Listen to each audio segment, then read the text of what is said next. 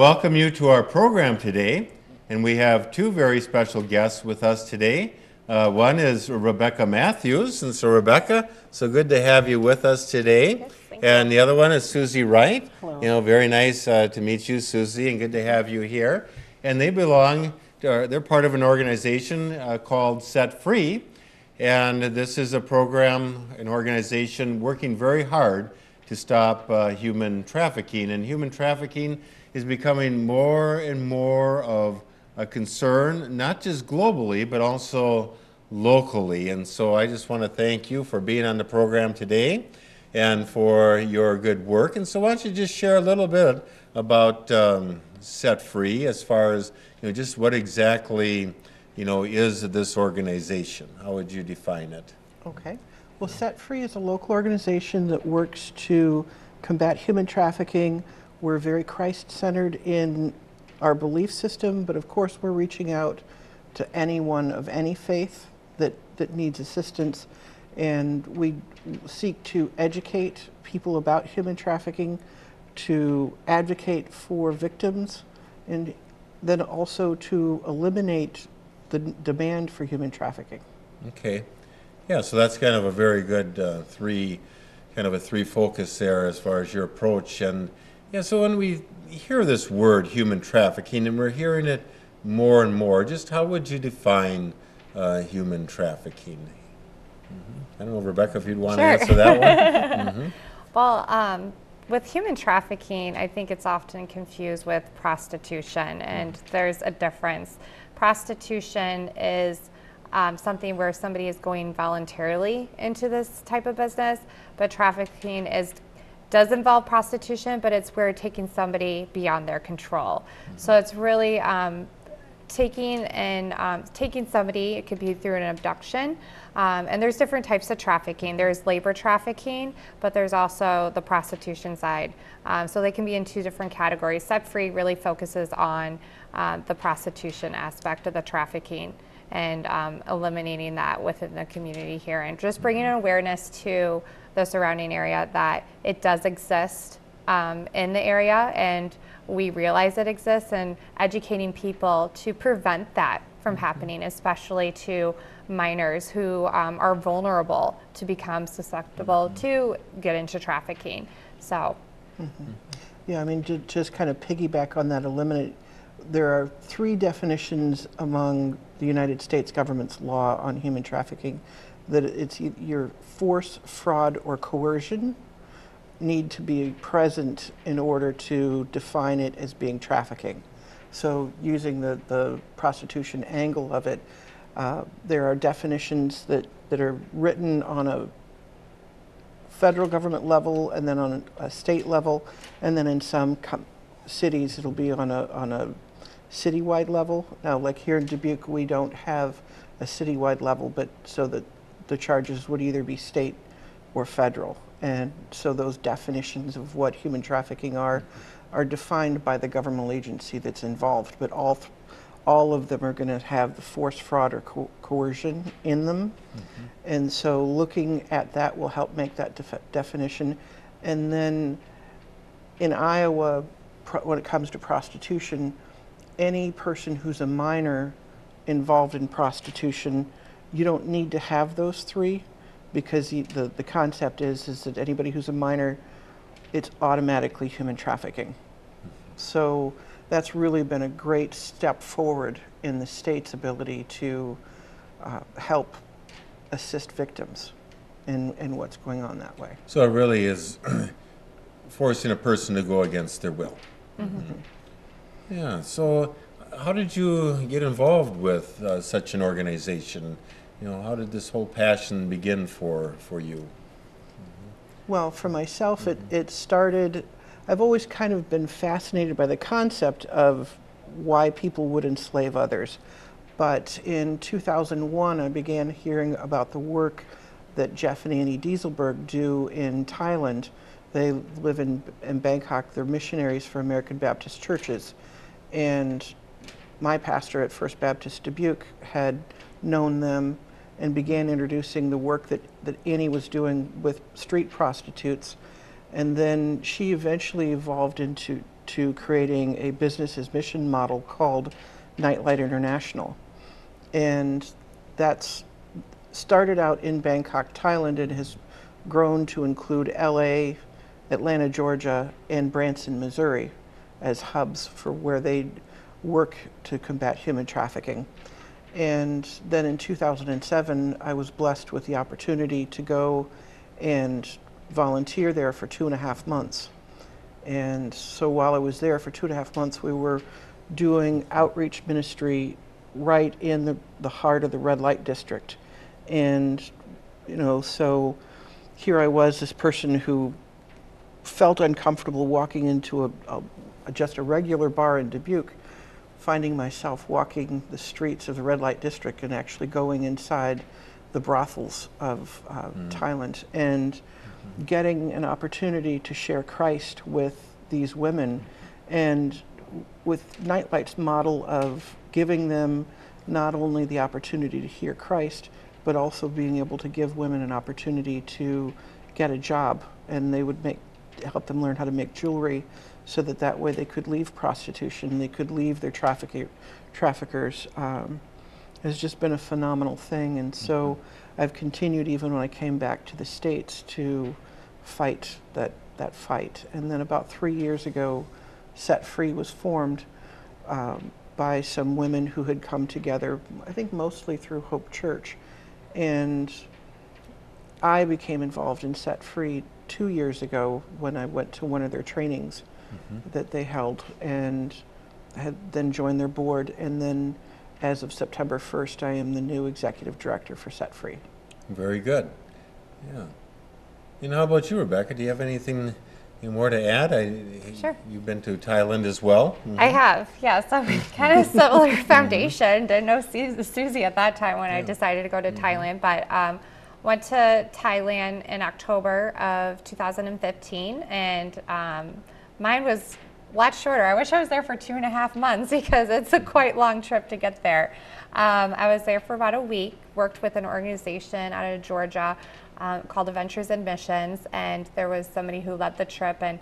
Um, and she led the trip to Thailand in Bangkok, Thailand. So um, went to probably the same red light districts that Susie went to. To the two main ones, there's Nana and Patpong, and so we did some outreach there and just loved on the girls that, that were there and learned a lot about the ministries that are actively working in um, in Thailand. And one of them was at Nightlight. We did visit there, and so coming back, I, it was really hard. It, my heart was in Thailand, and to know what was going on, and I did not want to come back. I just prayed, God, I don't want to come back, and He said, Your mission trip is back home, and I didn't know what that meant at the time, but um, you know, God has fast forwarded shown me that getting involved with Set Free and being involved with the community, and it's it's great to have served overseas, but it's even better to know that I'm serving back home here.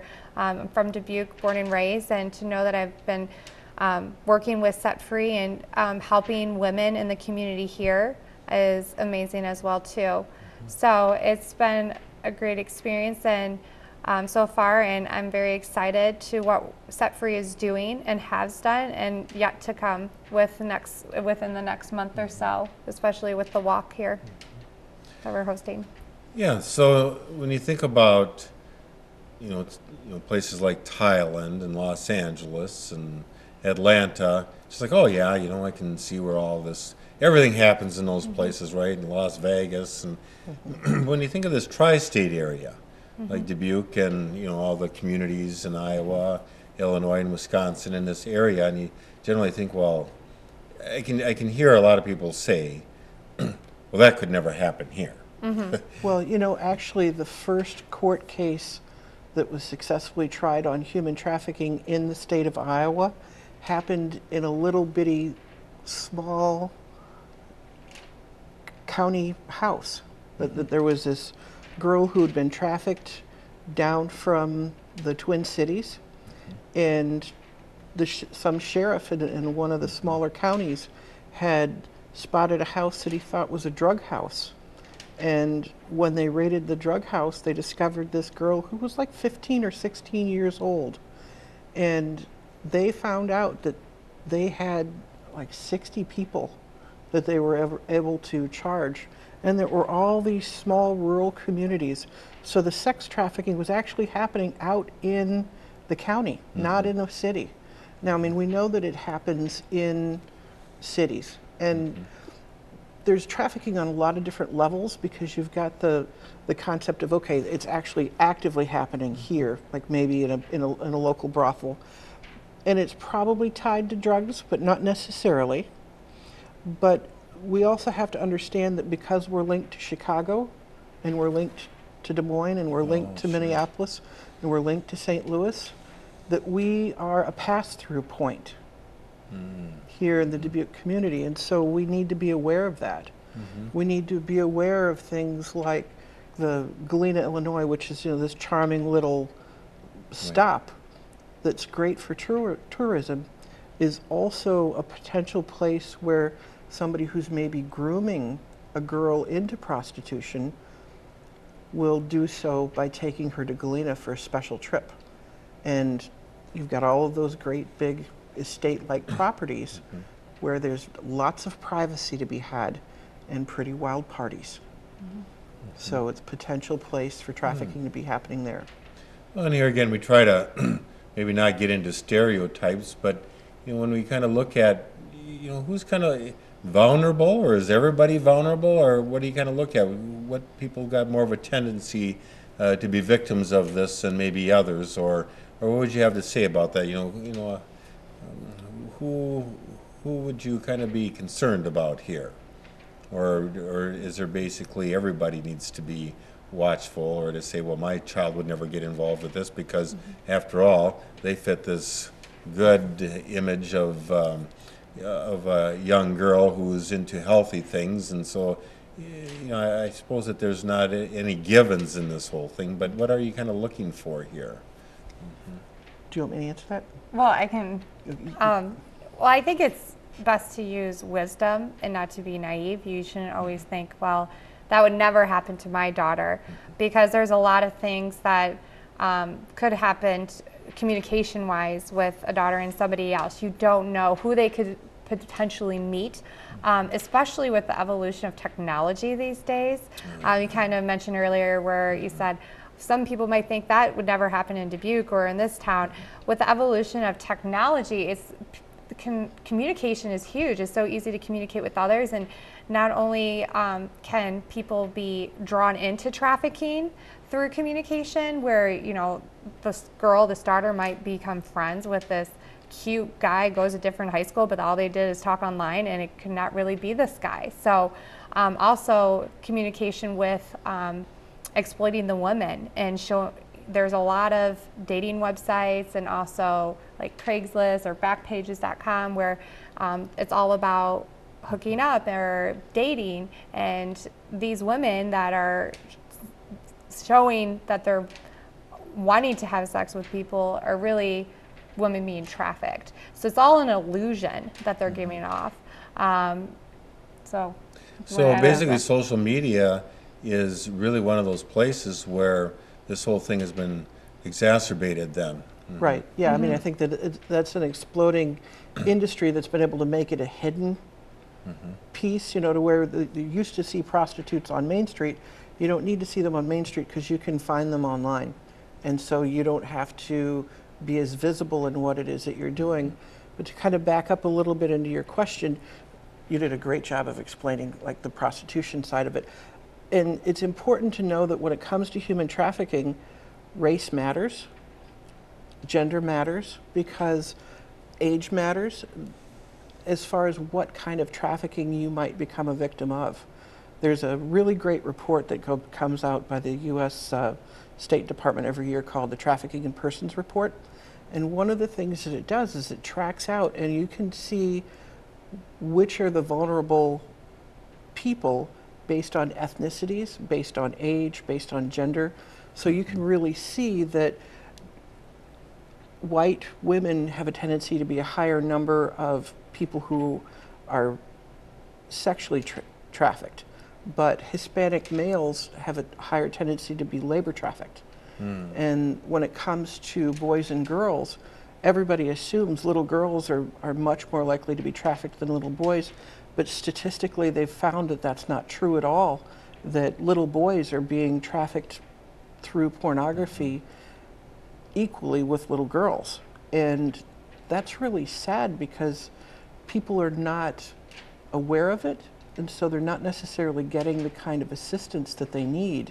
Mm-hmm. You know, because the, the it's very easy to hide if mm-hmm. you're a male. It's it's much more shameful is to be that male model of, or people mm-hmm. make a joke of it. Oh, sure, you'll you'll do this for them because if you're a guy, you'd be willing to do this. And so sometimes young boys are not getting the assistance that they really really need. Yeah. And so the organization is Set Free, and we have their uh, website that you can go to to look, you know, to take a, you know, more of a look as far as, you know, just going on the computer and seeing all of what they do. But Set Free, educate, advocate, and eliminate. I know that you already kind of shared those terms, but when you think about educating, you know, how do you go about educating our um, society about this very serious problem that we have right now in human trafficking?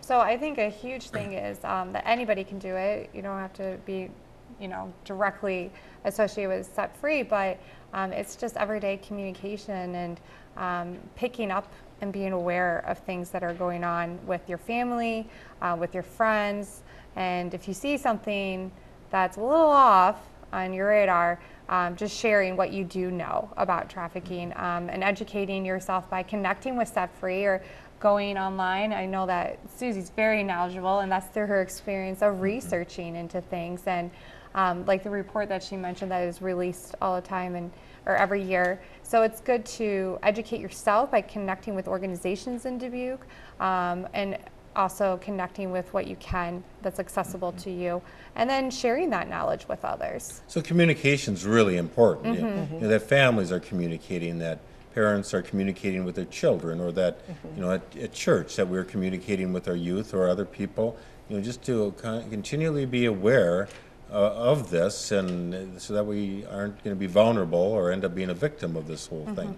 Sure. Yeah, I mean, one of the things that we like to do with Set Free is that we're given the opportunity to go in and there's an organization locally called the Four Oaks, and it's for kids who've got some issues. Mm-hmm. And we were asked to come in and first to teach the teachers because one of the, their staff recognized their teachers needed to know more. But mm-hmm. after we came in and we instructed the teachers on here are some signs of human trafficking, they realized that their students were frontline potential candidates for um, being recruited into trafficking situations. So they invited us to come back and talk, and we were able to talk to the students and, and the guardians and have a conversation with the students and guardians and to teach them at their level. And, you know, we've been invited to talk to schools and we've been invited to talk here. And we really hope that people hear what's being said today and feel inspired to do more, to say more, mm-hmm. to speak up, like Reba said, that if you see something that you're concerned about, ask somebody else a mm-hmm. question. You know, make the phone call to the non-emergency police department line and just say, I saw this. Is this something I should be concerned about? Um, going online, there's an organization called Polaris Project. Mm-hmm. They're another really great resource for getting some basic information about identifying who might be trafficked. What might you be seeing? Yeah, and so that's wonderful that you are here as a resource. And that's one of the things that I think all of you should be aware of, that if you are uh, wanting to have uh, Susie and or Rebekah come to share a little bit about their organization or what things that you need to be aware of, that they are willing to come. And it could be, you know, at your, your local school, church, um, whatever the community function may be. Okay, so educating, it's so very important that we are communicating and being aware of all of what's happening here. But then we also think about in, uh, you know, being an advocate. An advocate's very important. So what does that look like? A lot of times that might be something as simple as uh, getting a phone call from Hope House, which is a local shelter in the area, and them calling us and saying, we have somebody who may be being groomed for trafficking. Would you come down and talk to them? And talking them, and once you get a chance to talk to them, then being able to find a shelter for them. Do you want to share about the Roots to Rise program? Yes. Um, so for the Roots to Rise, we're the former executive director. She's branching off and doing another project that's going to help people that are um, have been trafficked, and it's a trauma-sensitive yoga, and it's the main purpose is for um, to help women that have been through a trafficking situation and to help them heal, go through a healing journey. So Christian based yoga, and um, we're actually the board members. We're going through it right now. So it's an awesome experience, and um, just through the sessions that we've had ourselves, and none of us have been trafficked, but we've had even like encounters with God through this uh, this experience with the yoga and how God is messaging to us and certain areas of our lives. But for these women, um, you, using yoga, you're you're using your body and you're using your mind and you're using your spirit to connect with God, and God teaches you things, and it just transitions them into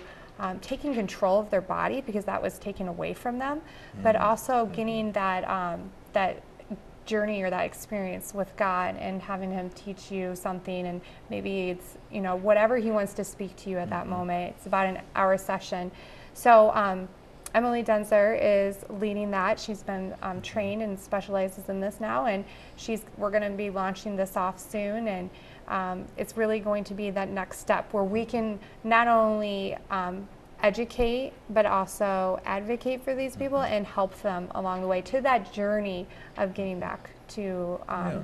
just being whole and healed. Yeah. Yeah, so through educating and advocating, and then hopefully we then are eliminating, you know, the- eliminating this whole human trafficking, well, social problem that we have in our society. So I, and so is that the idea then, is, you know, hopefully just to eliminate the problem then? Right. I mean, if we can help people understand the value of the individual person, that the value of themselves, and you know, and, and all of that is Christ based. You know that that Christ created us, God gave us our beings, and if we treat each other as God created beings, there's no way that we would sell each other. There's no way that we would harm each other in that way. And so, if we can help people see God in others, I think that's a really great way to be mm-hmm. able to, to work in what it is that we're hoping that we can do. And, you know, exactly how that works, I mean, that's probably the, our most strong program that we need to mm-hmm. develop is exactly what that would look like for eliminating.